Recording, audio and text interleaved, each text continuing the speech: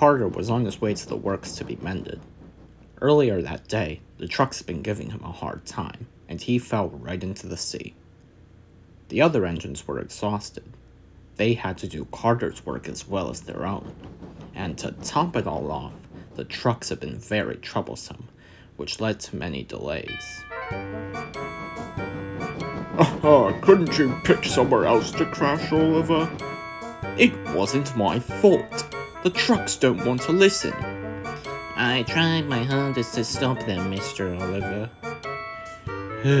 I know, Toad, but the truth is, handling trucks isn't an easy task.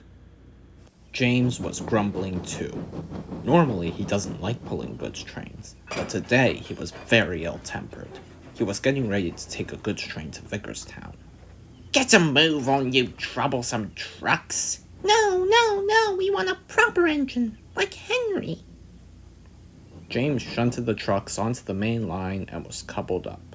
The trucks were up to their usual schemes, but James wasn't aware. The signal dropped and James left the shunting yard.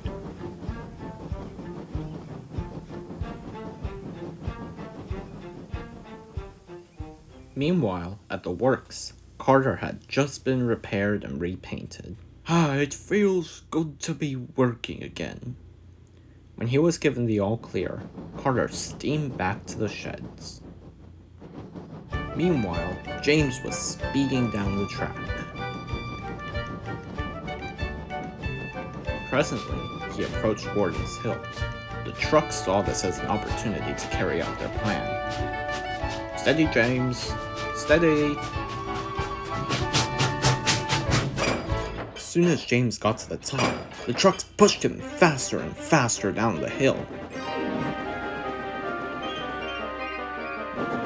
The driver tried to put on the brakes, but James couldn't stop. James raced by Carter, who was surprised. Hang on, James. I'll help.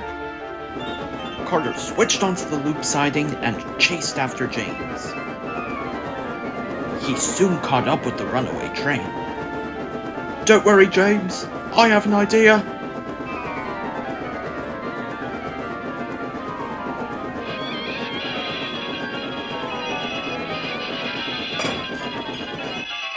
At last, the train slowed to a stop. Thank you, Carter. No problem, James. Now, where was the train going again? To Vickerstown. Can you help me pull the train? Sure thing, James. Handling trucks is a piece of cake. And the two engines set off. Carter and James are now great friends. James has gotten better at handling trucks, and I think we all know who he has to thank for that.